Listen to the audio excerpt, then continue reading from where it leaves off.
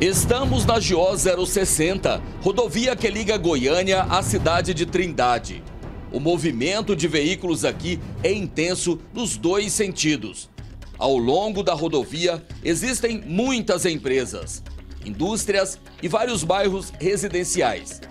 De olho em tanto movimento, os criminosos estão agindo com frequência e deixando os moradores com medo. A mulher e a mãe do Elson estão entre as vítimas dos assaltantes. Quando ela desceu do coletivo, quando ela subiu na passarela, acho que ela já avistou ele, né?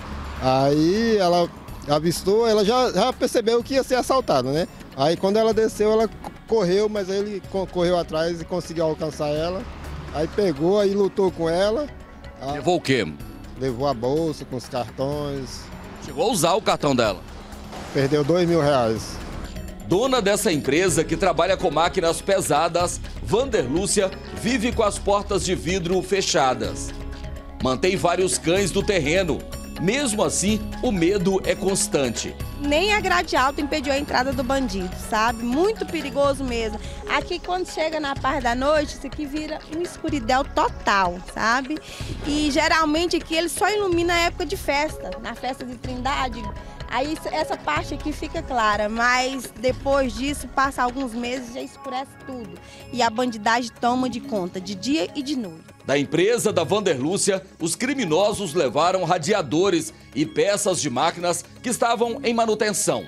Nesse vídeo gravado pela Vanderlúcia com o celular, é possível ver que a claridade é apenas das luzes das empresas e os faróis dos carros. Essa aqui é a situação da nossa Vila Regina, ó. Aqui, ó, se não for as luzes dos carros, ou então das lojas, continua assim, ó, ao escuro. Sabe? É só a luz dos veículos o dono da oficina do lado não quis gravar a entrevista, mas contou para a nossa equipe que os bandidos entraram na empresa e levaram fios e sucatas. Um prejuízo de 40 mil reais. Nesse vídeo é possível ouvir os cães latindo e um dos suspeitos empurrando um carrinho com parte do material furtada. Ele teria atravessado a rodovia, onde um comparsa aguardava em um veículo. São várias passarelas como essa aqui, construídas ao longo da GO 060, que começa lá próximo ao terminal Padre Pelágio e vai até Trindade. Segundo os moradores da região, o perigo maior está na parte da manhã, quando as pessoas estão indo para o trabalho, para a escola ou faculdade. Muitas vezes, os criminosos ficam aqui em cima da passarela ou então aguardando do outro lado. No final da tarde, quando as pessoas estão voltando para casa, o perigo também aumenta.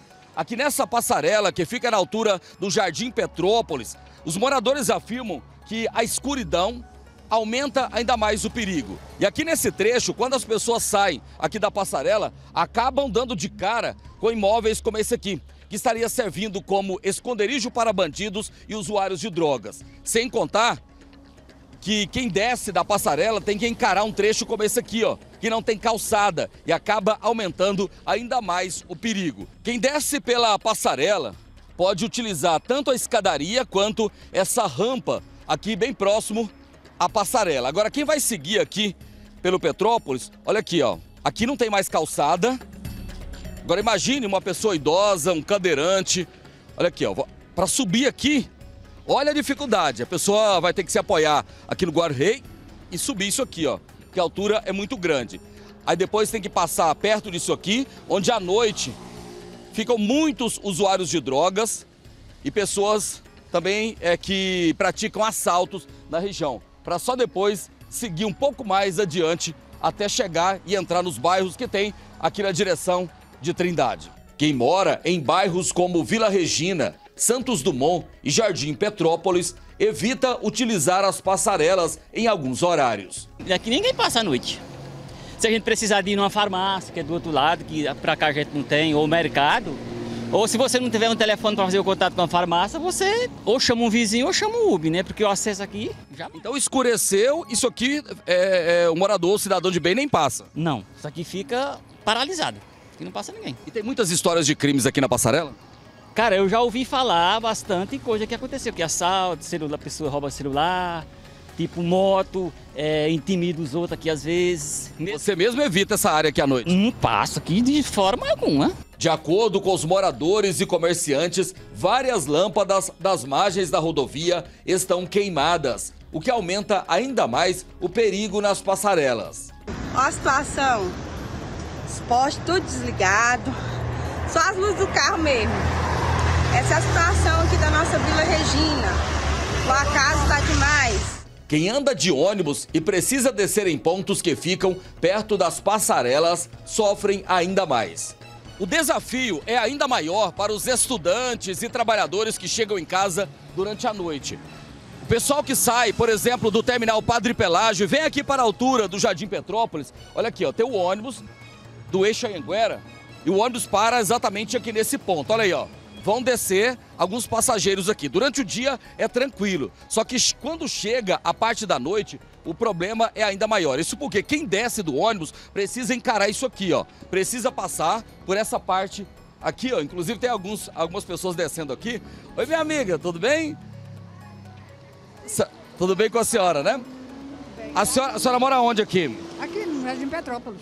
Agora, tem que passar naquele beco ali? Aonde? Aqui por baixo, nessa trilha? Tem que passar. Sério? Tem que encarar aquilo ali? Tem que encarar aqui. Tudo bem, amiga? Você também tem que encarar aquele trecho ali? Não, eu atravesso lá na frente. Posso, podemos acompanhar vocês?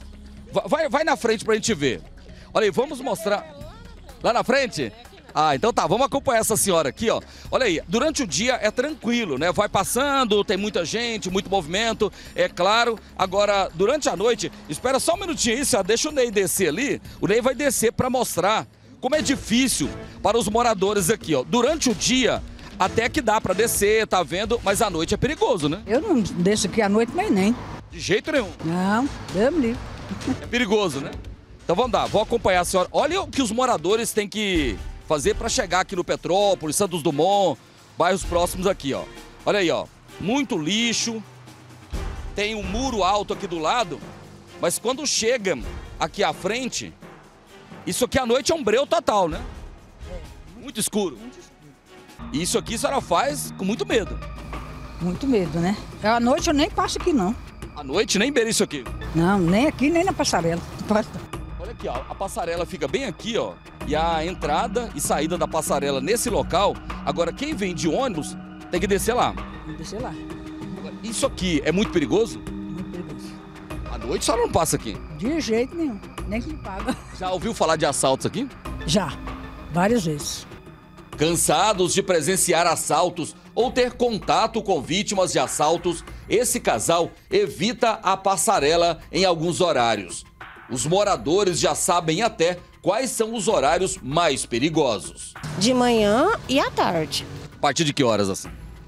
Seis horas e depois das seis. Então vocês evitam esses horários. Sim.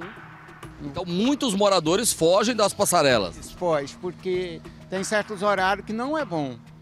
Não pode passar. Se você passar, é arriscado. Então tem o, tem o horário certo de passar por aqui. É, é. Se um horário desse, por exemplo, agora, não tem perigo.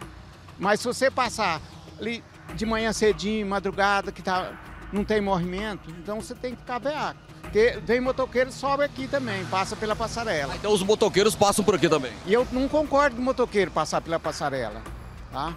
Então eu acho que o motoqueiro tem que usar o- a rodovia, não a passarela.